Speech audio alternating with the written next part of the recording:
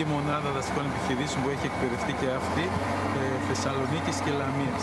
Συν πολλά διασωστικά οχήματα από όλη την περιφέρεια που κατευθείαν από χθες το βράδυ τέθηκε σε γενική επιφυλακή.